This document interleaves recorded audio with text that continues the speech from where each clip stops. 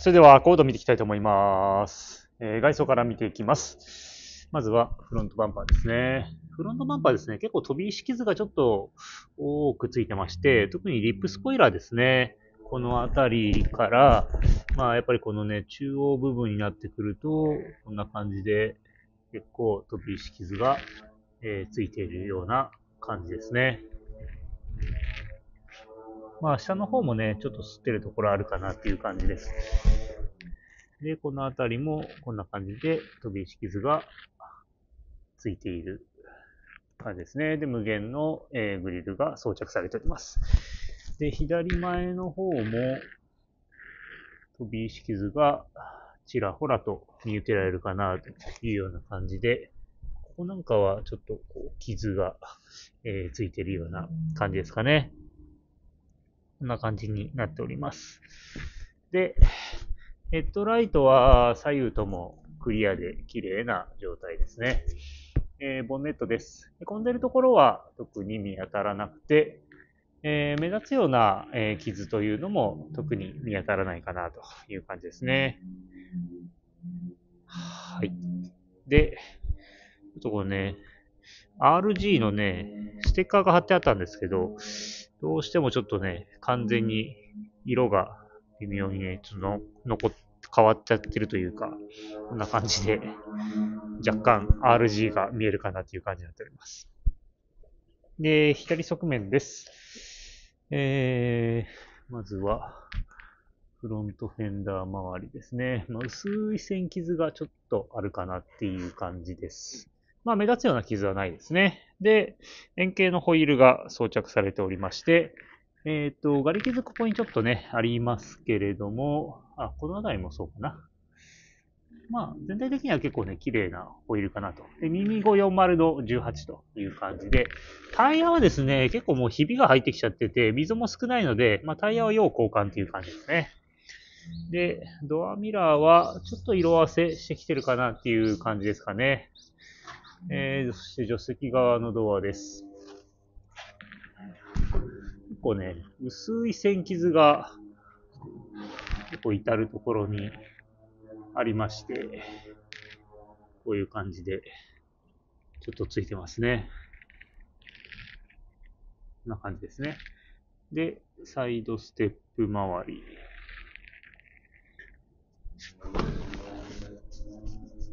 ちょっと飛び石傷あります。で、えっ、と、後ろもですね、これステッカーが貼ってあって、ちょっとこの辺剥がしたんですけども、結構ね、この、もう、跡がね、あんまりこう取れない感じで、こっちのステッカーに関してはもうちょっと剥がせなかった感じですね。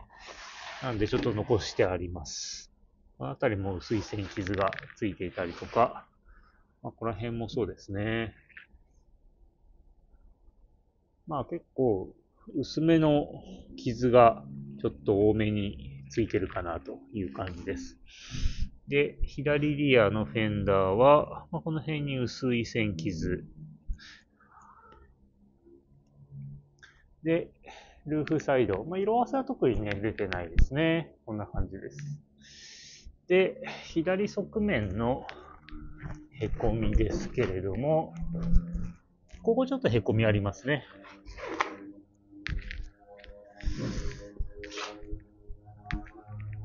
あとは、特になさそうな感じで、えー左リアのホイールです。えーここにガリ傷がついてますね。他は特に見当たらなそうな感じで、えーで、リアタイヤも結構ひびが入ってきてるので、まあ、前後ともタイヤは要交換かなという感じです。続いてリアバンパーです。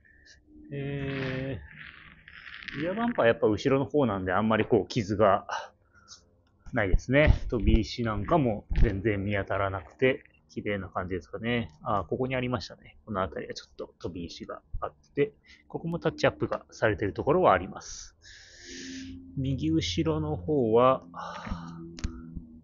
特に、うん、まあちっちゃい飛び石傷、薄い線傷っていうぐらいですかね。で、トランクですけれども、この辺は綺麗ですね。えー、リアスポイラーとトランク自体も綺麗な状態になっております。続いて右側面見ていきます。右リアのフェンダー。まあ、この辺りもね、薄い線傷がちょっとあるかなっていう感じですかね。で、えー、ルーフサイドの方は特に気になるところは見当たらず、右リアのホイール。えー、こちらはガリ傷は、ここにちょこっとあるかなっていうぐらいで結構綺麗ですね。で、右後ろのドアです。こちらのドアはまあ多少薄い傷ありますけど、まだ綺麗な方ですね。で、サイドステップがこんな感じになっておりまして、この辺りにちょっと傷が薄いのが少しあるかなというぐらいですね。で、運転席のドア、こちらもうん。綺麗ですね。ドアミラーもこんな感じです。で、右フロントのフェンダー。ミラも特に気になるところはなそうですね。で、右フロントのホイールです。えー、右フロントホイールも綺麗ですね。こんな感じです。で、右側面のへこみですけれども、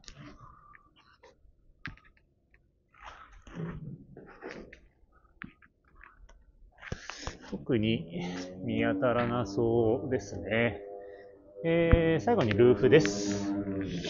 えー、ルーフ、綺麗ですね。こんな感じで、まあ、特に気になるような、えー、傷なども見当たらないかなという感じです。はい。では続いて内装を見ていきます。運転席のドアトリム周りからですね。うん、綺麗ですね。で、スカーフプレートの方も綺麗な感じになってまして、えー、フロアマット、まあ、多少のスレはあるかなっていうぐらいですね。で、純正のレカロシート。シートも結構綺麗ですね。助手席側なんかも綺麗な状態になっております。で、ステアリングはちょっとね、擦れてるところあるかなっていう感じですかね。まあ、でも、き綺麗な方かなと。で、ダッシュボード上も、うん、特に気になるようなところはなく、な感じで、この辺りも綺麗ですね。えー、ブーツ、シフトブーツ周り、サイドブレーキ周りも綺麗な状態になっていて、うん、綺麗ですね。ETC の支え機がこちらに入ってます。感じですね。じゃあちょっとエンジンをかけてみたいと思います。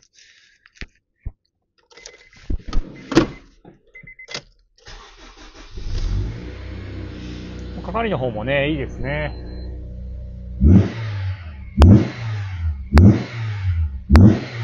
すごいレスポンスいいですね。で、もう定番ですけども、ここの液晶が死んでおります。エアコンがですね、まあ、ベースはここでね、操作ができるんですけども、ここにあの左右の温度が出てくるんですよ。なので、それが、ね、ちょっとわからないですね。この辺のね、こういうのをやるんですけど、ここに出てくるんですけどね、それがちょっと出てこないという感じです。この前ただここの部品調べたらですね、まだなんか部品出たみたいだったんで、一時欠品になってたんですけども、今なら出るかもしれないですね。はい。では続いて、えー、リアシート見ていきます。えー、右リアのドアトリム。綺麗な感じですね。で、フロアマットの方も綺麗ですね。で、リアシート。こんな感じになっております。この辺りもね、特に気になるところはないですね。で、トランクですけれども、えー、特に気になるところはないですね。まあ、この、ちょっと毛羽立ってきてるかなっていうところはあるんですけれども、で、車載工具の方もね、揃ってますね。で、えー、左リアの、えー、ドアトリム。な感じですね。スカーフプレート、フロアマットともに、まあ、リアシートの方はね、全体的に綺麗な感じですね。そして、助手席側です。えー、助手席のドアトリム。こんな感じですね。で、スカッフプレートの方も綺麗な状態で、フロアマットもね、綺麗ですね。こんな感じで、まあ内装なんかね、かなり全体的に綺麗な状態です。で、天張りがですね、こんな感じでベローンと結構垂れてきちゃってるので、天張りは交換させていただきます。はい。では続いてエンジンルーム見ていきます。はい。ではエンジンルーム見ていきたいと思います。えー、まずはベルト周りですけども、まあ特に変な音も出ないですね。で、エンジンの方も静かな感じで振動も少なく、で、ヘッドカバーもね、すごい綺麗ですね。トップヒューエルのゼロ線チャンバーですね。装着されております。まあ、エンジンルーム内も全体的に綺麗な状態じゃないかなという感じですね。はい。では続いて試乗してみたいと思います。はい。それでは、コードユーロ R 試乗してみたいと思います。えー、走行距離が8万1900キロという感じですね。で、えーと、RG の車庫帳に無限マフラートップヒューエルの、えー、ゼロ線チャンバー円形の18インチのホイールなんかが装着されている仕様ですね。クラッチは特に大丈夫そうですね。つながりも普通な感じです。でこの RG の車庫帳乗り心地いいですね。ある程度は硬いのかなと思ったんですけど全然硬くなくとても乗りやすいまあユーロ R の中では硬めの方の車庫帳だとは思うんですけども全然街乗りもねしやすいですねで、マフラーは無限なので、まあ、あの特にうるさい感じもなく、ただあれね、レスポンスは非常にいいですね。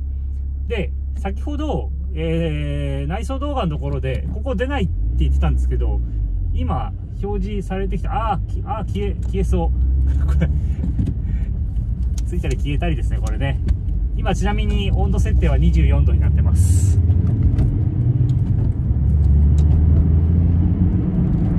あやっ。ぱりアクセルのレスポンスいいですね。あとミッションの入りも非常にいいですね。スコスコと入ります。変な引っかかりとかはないですね。で室内に入っていくような変な音もないですし変な振動とかもなくハンドルがね取られてしまうとかっていうそういうこともねなさそうですね。まあ今このね街乗りの、えーと、40キロぐらいの、えー、走行での判断という感じではあるんですけどもまあ、全体的には特に気になるところはないですね。で、タイヤがですね、もうだいぶ硬くなっていて、ひびも入ってるので、タイヤはね、交換していただきたいんですけども、まあ、それでも、あの、ロードノイズもそんなにないですし、タイヤの硬さみたいなところもね、そこまで感じないので、まあ、多分タイヤこれまた新しく変えていただいたら、より乗り心地がいい状態になるんじゃないかなと思います。はい。以上、アコード URL の試乗インプレッションでした。HMR では納車前点検にて法定24ヶ月点検の実施とエンジンオイル、オイルフィルター、ミッションオイル、ブレーキフルード、冷却水の交換を行い、その他車検に通らないオイル漏れやブーツの破れ、走行上不都合な箇所、伝送トラブルなど修理してご納車しています。そしてご納車後半年の点検を無料で実施し、以降半年ごとお車をお乗りの間はずっと無料で点検を行っています。皆様のご来店お待ちしております。